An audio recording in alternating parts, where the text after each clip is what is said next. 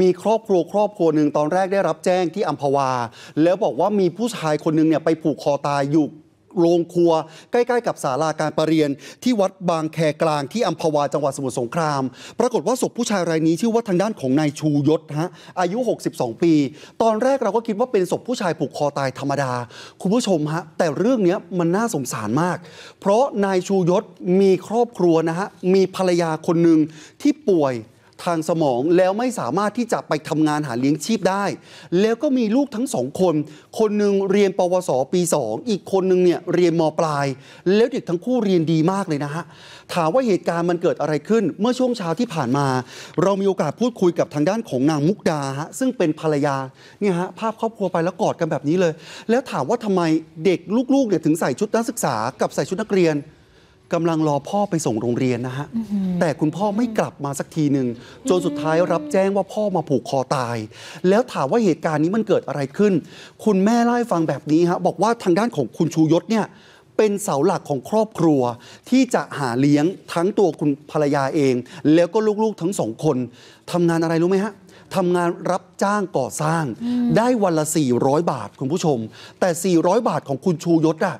คือไม่สามารถที่จะไปทำอะไรได้เลย เพราะหนึ่งคือต้องส่งลูกเรียนสองคน ลูกสองคนเอาเงินให้ลูกไปโรงเรียนคนละ 100 บาทต่อวันค่ะแล้ว 100 บาทต้องเหลือนะฮะคุณผู้ชม เพื่อที่จะใช้ในวันต่อ ๆ ไป เพราะคุณพ่อเนี่ยก็คือคนชูยศที่ผูกคอตายเนี่ยไม่สามารถที่จะหาเขาเรียกว่าอะไรรับจ้างนะฮะคุณผู้ชม รับจ้างก่อสร้าง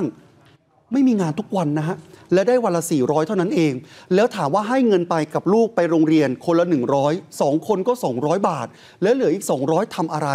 เหลืออีก 200 บาทเพื่อที่จะมาใช้จ่ายในครอบครัว ครอบครัวนี้ประหยัดมากแล้วไม่มีกิน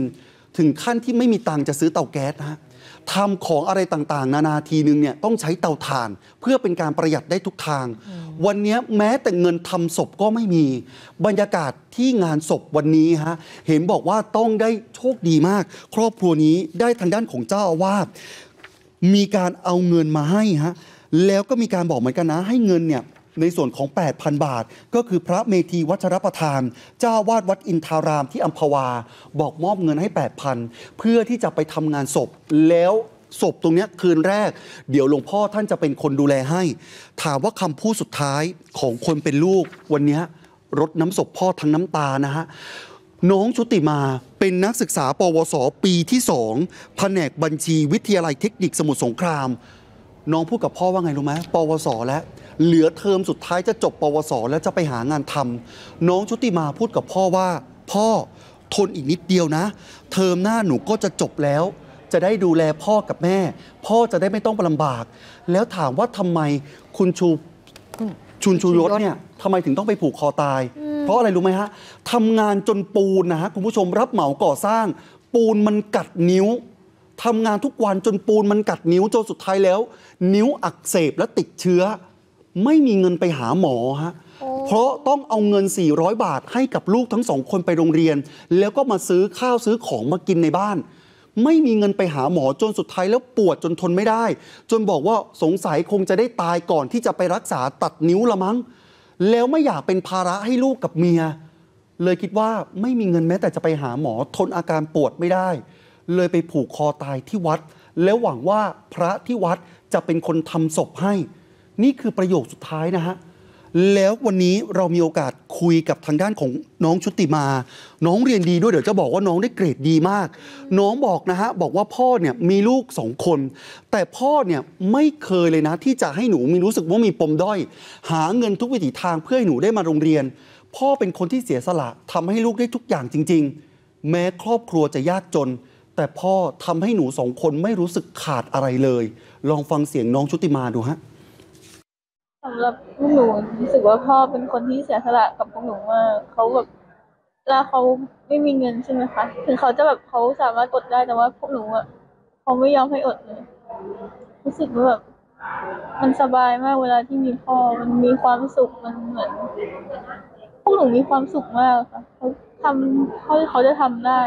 แล้วเขาก็ทำได้ดีมากมากหนูไม่รู้สึกว่าขาดอะไรไปเลยคือแบบบางทีอาจจะมีเขาอาจจะดุหนูบ้างเพราะว่าหนูชอบดื้อแต่ว่าหนูรู้ว่าเขาดุเพราะว่าเขารักนี่ฮะคุณผู้ชม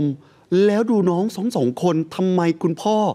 ขึ้นมาเต็มจอเลยก็ได้ฮะ เด็กเรียนดีไม่ใช่ไปตีรันฟันแทงเหมือนที่ทุบโต๊ะข่าวเรานำเสนอเป็นบ่อยๆ น้องพิจิตราอายุ 17 ปีมห้าเรียนอยู่ม .5 โรงเรียนอัมพวันวิทยาลัยที่สมุทรสงคราม เกรดเฉลี่ยน้อง 3.37 นะฮะ ส่วนน้องชุติมาที่บอกประโยคสุดท้ายกับคุณพ่อ